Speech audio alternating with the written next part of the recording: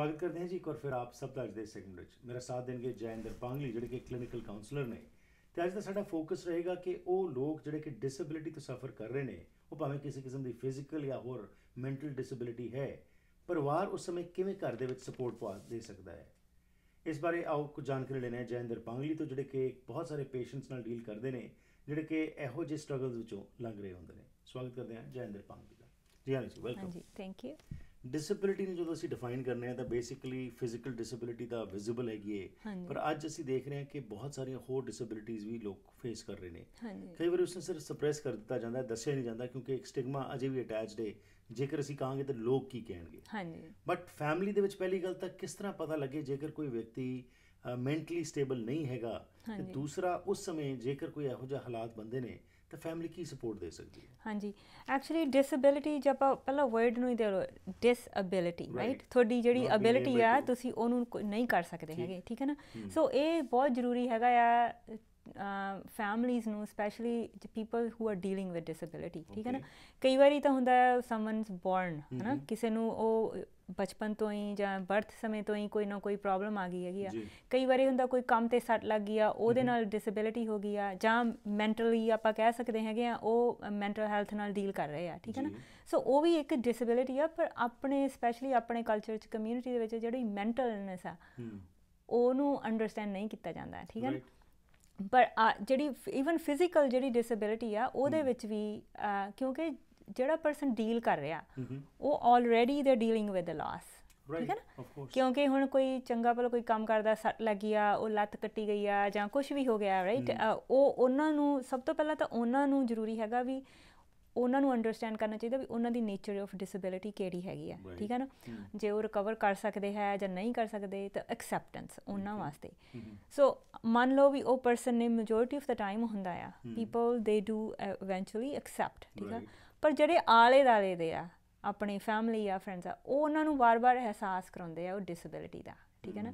ਉਹਦੇ ਕਰਕੇ ਜੇ ਤਾਂ ਫਿਜ਼ੀਕਲ ਡਿਸੇਬਿਲਿਟੀ ਹੈਗੀ ਆ। ਉਹਦੇ ਨਾਲ ਨਾਲ ਇਮੋਸ਼ਨਲੀ। ਡਿਪਰੈਸ਼ਨ ਜਿਹੜਾ ਆ ਉਹ ਆਟੋਮੈਟਿਕਲੀ ਹੋ ਜਾਂਦਾ ਬਿਕਾਜ਼ ਉਹਨਾਂ ਨੂੰ ਕੋਈ ਅੰਡਰਸਟੈਂਡ ਨਹੀਂ ਕਰ ਰਿਹਾ ਹੈਗਾ ਠੀਕ ਹੈ ਨਾ ਸੋ ਸਭ ਤੋਂ ਪਹਿਲਾਂ ਜ਼ਰੂਰੀ ਹੈਗਾ ਫੈਮਲੀਜ਼ ਨੂੰ ਵੀ ਜਿਹੜਾ ਵੀ ਕੋਈ ਤੁਹਾਡਾ ਪਰਿਵਾਰ ਦਾ ਮੈਂਬਰ ਹੈ ਜਾਂ they are still human being they are still. Persons right ਠੀਕ ਹੈ ਨਾ. They are not a thing ਹਮ ਇਹ ਬਹੁਤ ਵੱਡਾ ਡਿਫਰੈਂਸ ਹੈਗਾ ਆ ਓਕੇ ਕਿਉਂਕਿ ਮੋਸਟਲੀ ਜੇ ਹੁਣ ਕੋਈ ਵੀਲ ਚੇਅਰ ਦੇ ਵਿੱਚ ਵੀ ਹੈਗਾ ਆ ਤਾਂ ਉਹਨੂੰ ਆਮ ਵੀ ਦੇਖਿਆ ਜਾਂਦਾ ਵੀ ਉਹ ਵਿਚਾਰਾ ਵਿਚਾਰਾ। ਬਿਲਕੁਲ ਠੀਕ ਹੈ ਨਾ ਯੈਸ ਸੋ ਇੱਕ ਪਾਸੇ ਤਾਂ ਉਹ ਜਿਹੜਾ ਪਰਸਨ ਹੈਗਾ ਆ ਉਹ ਆਪਣੇ ਆਪ ਨੂੰ ਉਹ ਇੰਪਾਵਰ ਕਰ ਰਿਹਾ। ਸਟਰਗਲ ਕਰ ਰਿਹਾ। ਉਹ they may be doing really well ਉਹਨਾਂ ਕੋਲ ਸ਼ਾਇਦ ਜੌਬ ਵੀ ਹੋਗੀ ਪਰ ਤੁਹਾਡੇ ਇੱਕ ਇਹ ਜਿਹੜਾ ਕਮੈਂਟ ਹੈਗਾ ਆ ਉਹਦੇ। ਨਾਲ ਉਹਨਾਂ ਦੀ ਸੈਲਫ ਅਸਟੀਮ ਜਿਹੜੀ ਆ ਉਹ ਲੋਅਰ ਹੁੰਦੀ ਆ ਠੀਕ ਹੈ ਨਾ। ਸੋ ਇਹ ਬਹੁਤ ਜ਼ਿਆਦਾ ਜ਼ਰੂਰੀ ਆ ਬਿਕਾਜ਼ ਤੁਹਾਡੇ ਕਮੈਂਟ ਦੇ ਨਾਲ ਉਹਨਾਂ ਨੂੰ ਕੋਈ ਫਾਇਦਾ ਨਹੀਂ ਹੋ ਰਿਹਾ ਜੀ ਸ਼ਾਇਦ ਆਪਣੇ ਮੋਸਟਲੀ ਹੁੰਦਾ ਵੀ ਉਹ ਤੁਹਾਡੇ ਦਿਮਾਗ ਵਿੱਚ ਆ ਰਿਹਾ ਜਿਹੜਾ ਬੰਦਾ ਕਹਿ ਰਿਹਾ। ਵੀ ਤੁਸੀਂ ਸਿੰਪਥੀ ਰਾਈਟ. ਸਿੰਪਥੀ ਤੁਸੀਂ ਕਰ ਰਹੇ ਆ ਤਾਂ ਉਹ ਦੂਜੇ ਪਰਸਨ ਨੂੰ ਬੈਟਰ ਫੀਲ ਹੋਊਗਾ ਪਰ ਉਹ ਬੈਟਰ ਨਹੀਂ ਤੁਸੀਂ ਫੀਲ ਕਰਵਾ ਰਹੇ ਹੈਗੇ। ਤੁਸੀਂ ਐਕਚੁਅਲੀ ਉਹਨਾਂ ਨੂੰ ਅਹਿਸਾਸ ਕਰਾ ਰਹੇ ਆ ਰਾਈਟ ਠੀਕ ਹੈ ਨਾ। ਸੋ ਇਹ ਜ਼ਰੂਰੀ ਹੈਗਾ ਆ ਵੀ ਤੁਸੀਂ ਟਰਾਈ ਕਰੋ ਉਹਨਾਂ ਨੂੰ ਉਦਾਂ ਦੇ 네ਗੇਟਿਵ ਵਰਡਸ ਜਿਹੜੇ ਆ ਨਾ ਕਰੋ। ਠੀਕ। ਦੂਸਰੀ ਗੱਲ ਇਹ ਹੈਗੀ ਆ ਕਿਉਂਕਿ ਕੋਈ ਵੀ ਪਰਸਨ ਡਿਸੇਬਿਲਿਟੀ ਨਾਲ ਜੇ ਡੀਲ ਕਰ ਰਿਹਾ ਉਹਨਾਂ ਦੀ ਹੈਲਥ ਕੇਅਰ ਨੀਡਸ ਜਿਹੜੀਆਂ ਹੈਗੀਆਂ ਨੇ ਉਹ? ਡਿਫਰੈਂਟ ਨੇ ਜੀ ਉਸ ਸਮੇਂ ਬਿਲਕੁਲ। ਜ਼ਰੂਰਤ ਹੈਗੀ ਕਿ। ਜ਼ਿਆਦਾ ਸਪੋਰਟ ਮਿਲੇ। ਹਾਂਜੀ। ਹੁਣ ਇੱਕ ਪਰਸੇ ਇੱਕ ਪਰਸਨ ਆ ਉਹ ਸ਼ਾਇਦ ਜੌਬ ਤੇ ਜਾ ਰਹੇ ਆ। ਬਟ ਦੇ ਆਲਸੋ ਦੇ ਨੀਡ ਇਮੋਸ਼ਨਲ ਸਪੋਰਟ ਸ਼ਾਇਦ ਉਹ ਕਾਉਂਸਲਿੰਗ ਵਿੱਚ ਵੀ ਆ ਰਹੇ ਆ। ਹੁਣ ਜੇ ਫੈਮਿਲੀ ਉਹਨਾਂ ਨੂੰ ਇਹ ਕਹੀ ਜਾ ਰਹੇਗੀ ਵੀ ਪਤਾ ਨਹੀਂਗਾ ਕੀ ਫ- ਮਿਲਦਾ ਹੈ ਉੱਥੇ ਜਾ ਕੀ ਕੇ ਜਾਂ ਕੀ ਫਾਇਦਾ ਜਾਣ ਦਾ। ਐਵੇਂ ਸਾਡਾ ਟਾਈਮ ਵੇਸਟ ਹੁੰਦਾ ਸਾਨੂੰ ਤੈਨੂੰ ਡਰਾਈਵ ਕਰਨਾ ਪੈਂਦਾ ਆ ਜਦੋਂ ਕੰਮ ਤੇ ਚੰਗੀ ਭਲੀ ਜਾ ਸਕਦੀ ਆ। ਯੂ نو ਇੱਥੇ ਕੀ- ਇਹੋ ਜੀ ਕਿਹੜੀ ਗੱਲ ਆ ਜਾਂ ਕੁਝ ਵੀ ਆ ਉਹ ਵੀ ਗਲਤ ਗੱਲ ਹੈਗੀ ਆ ਕਿਉਂਕਿ ਉਹ ਜਿਹੜੀ ਉਹਨਾਂ ਦਾ ਸਪੋਰਟ ਸਿਸਟਮ ਆ। ਠੀਕ ਹੈ ਨਾ ਉਹ ਜ਼ਰੂਰੀ ਨਹੀਂਗਾ ਉਹ ਤੁਹਾਨੂੰ ਹਰ ਗੱਲ ਉਹਨਾਂ ਨੇ ਦੱਸਣੀ ਆ ਸ਼ੇਅਰ ਕਰਨੀ ਆ ਉਹਨਾਂ ਦੀ ਟ੍ਰੀਟਮੈਂਟ ਦੀ ਆ ਰਾਈਟ। ਉਹ ਵੀ ਕੌਨਫੀਡੈਂਸ਼ੀਅਲ ਉਹ ਪਰਸਨ ਤੇ ਡਿਪੈਂਡ ਕਰਦਾ ਕਿੰਨਾ ਕੋ ਓਪਨਨੈਸ ਆ ਤੇ ਉਹ ਡਿਪੈਂਡ ਕਰਦਾ ਤੁਹਾਡਾ ਰਿਲੇਸ਼ਨਸ਼ਿਪ ਕਿੰਨਾ ਡੀਪਰ ਆ ਠੀਕ ਹੈ ਨਾ ਸੋ ਦੂਸਰੀ ਗੱਲ ਇਹ ਆ ਵੀ ਉਹਨਾਂ ਦੀ ਜਿਹੜੀ ਹੈਲਥ ਕੇਅਰ ਨੀਡਸ ਹੈਗੀਆਂ ਆ ਉਹ ਕੰਪਲੈਕਸ ਨੀਡਸ ਬਣ ਜਾਂਦੀਆਂ ਆ। ਸੋ ਇਹ ਜਾ- ਇਹ ਜ਼ਰੂਰੀ ਹੈਗਾ ਵੀ ਤੁਸੀਂ ਕੁਐਸਚਨ ਕਰਨ ਦੇ ਨਾਲੋਂ ਉਹਨਾਂ ਨੂੰ ਸਪੋਰਟ ਕਰੋ। ਜੀ। ਲਾਈਫ ਈਜ਼ੀ ਬਣਾਓ ਉਹਨਾਂ ਲਈ ਨਾ ਕਿ ਉਹ ਡਿਫਿਕਲਟ ਠੀਕ। ਠੀਕ ਹੈ ਨਾ। ਤੇ ਥਰਡ ਵਨ ਅਗੇਨ ਆਪਾਂ ਜਿਵੇਂ ਗੱਲ ਕੀਤੀ ਹੈਗੀ ਆ ਐਮਪਾਵਰਿੰਗ ਹਨਾ? ਜਾਂ ਨਾ ਕਿ ਪਿਟੀ ਕਰਨਾ। ਠੀਕ ਹੈ ਨਾ. ਕਿਉਂਕਿ ਉਹ ਜਿਹੜਾ ਆ ਸੈਲਫ esteem ਜੇ ਉਹਨਾਂ ਦੀ ਲੋਅਰ ਹੋ ਗਈ ਆ ਤਾਂ ਉਹਨਾਂ ਦੇ ਬਾਕੀ ਜਿਹੜੇ ਆ ਉਹ ਜਿਹੜਾ ਕੰਮ ਉਹ ਕਰ ਵੀ ਸਕਦੇ ਆ ਉਹਦੇ ਤੇ ਵੀ ਅਸਰ ਹੋ ਰਿਹਾ ਬਿਲਕੁਲ ਮਨੋਬਲ ਉਹਨਾਂ ਦਾ ਡਾਊਨ ਹੋਏਗਾ ਕਿ ਕਰਨ ਦੇ ਬਾਵਜੂਦ ਵੀ ਜਿਹੜਾ ਹੈਗਾ ਮੈਂ ਆਲਰੇਡੀ ਸਟਰਗਲ ਚੋਂ ਲੰਘ ਰਿਹਾ ਪਰ ਮੇਰੀ ਫੈਮਿਲੀ ਜਿਹੜੀ ਕਿ ਮੇਰੇ ਤੇ ਹੋਰ ਮੈਂ ਇੱਕ ਤਰ੍ਹਾਂ ਦਾ ਬੋਝ ਬਣ ਰਿਹਾ ਹਾਂ ਹਾਂਜੀ ਹਾਂਜੀ ਕਿਉਂਕਿ ਇਹ ਅਹਿਸਾਸ ਕਰਵਾਇਆ ਜਾਂਦਾ ਆ। ਰਾਈਟ ਠੀਕ ਹੈ ਨਾ ਕਿਉਂ ਇਹ ਚਾਹੇ ਨਾ ਚਾਹੁੰਦੇ ਹੋਏ ਵੀ ਠੀਕ ਹੈ ਨਾ? ਹੁਣ ਫੈਮ ਜਿਵੇਂ ਕਈ ਵਾਰੀ ਦੇਖਿਆ ਚਾਹੇ ਛੋਟੇ ਬੱਚੇ ਵੀ ਹੈਗੇ ਆ ਹਨਾ? ਕਈ ਬੱਚੇ ਜਿਹੜੇ ਆ ਉਹ ਆਰਟਿਸਟਿਕ ਚਿਲड्रनਸ ਰਾਈਟ ਉਹਨਾਂ ਨੂੰ ਥੋੜਾ ਅੰਡਰਸਟੈਂਡ ਕਰਨਾ ਡਿਫਰੈਂਟ ਹੈਗਾ ਆ। ਪਰ ਉਹ ਆਪਣੀ ਕਮਿਊਨਿਟੀ ਦੇ ਵਿੱਚ ਉਹ ਪਤਾ ਹੀ ਹੈ ਨਹੀਂਗਾ ਉਸ ਚੀਜ਼ ਦਾ। ਕਿ ਉਹਦੇ ਵਾਸਤੇ ਜਿਹੜੀਆਂ ਸਪੈਸ਼ਲਾਈਜ਼ਡ ਸਰਵਿਸਿਜ਼ ਹੈਗੀਆਂ ਨੇ ਉਹ ਉੱਥੇ ਤੁਸੀਂ ਉਹ ਜਾ ਸਕਦੇ ਆ ਉੱਥੇ। ਉਹਨਾਂ ਵਾਸਤੇ ਫੰਡਿੰਗ ਵੀ ਮਿਲ ਜਾਂਦੀ ਹੈਗੀ ਆ ਹਨਾ.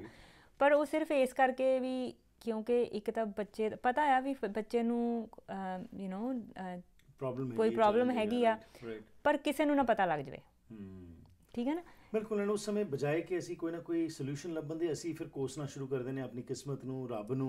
ਹੋਰ ਕਈ ਚੀਜ਼ਾਂ ਜਿਹੜੇ ਫੈਕਟਰਸ ਪਲੇ ਯੂ نو ਹੋ ਜਾਂਦੇ ਹਾਂਜੀ ਸੋ ਉਹ ਸੋ ਜਿਵੇਂ ਈਵਨ ਆਪਾਂ ਮੈਂਟਲ ਇਲਨੈਸ ਦੀ ਗੱਲ ਕਰ ਲਈਏ। ਠੀਕ ਹੈ ਨਾ ਉਹ ਵੀ ਐਕਚੁਅਲੀ ਫਿਜ਼ੀਕਲ ਡਿਸੇਬਿਲਿਟੀ ਨੂੰ ਫਿਰ ਵੀ ਐਕਸੈਪਟ ਕੀਤਾ ਜਾ ਜਾਂਦਾ ਆ most of the time mental ਜਿਹੜੀ ਹੈਗੀ ਆ ਮੈਂਟਲ ਇਲਨੈਸ ਆ ਉਹ ਜਿਹੜੀ ਹੈਗੀ ਆ ਕਨਸੈਪਟ ਹਜੇ ਵੀ ਇਹ ਹੈਗਾ ਆ ਆਪਣੇ ਕਲਚਰ ਨਹੀਂ ਬਾਕੀ। ਕਲਚਰਸ ਦੇ ਵਿੱਚ ਵੀ ਮੇਨ ਸਟ੍ਰੀਮ ਸੋਸਾਇਟੀ ਦੇ ਵਿੱਚ ਵੀ ਹੈਗਾ ਆ। ਹਮਮ ਉਹ ਸਟਿਲ ਸਟਿਗਮਾ ਜਿਹੜਾ ਹੈਗਾ ਆ।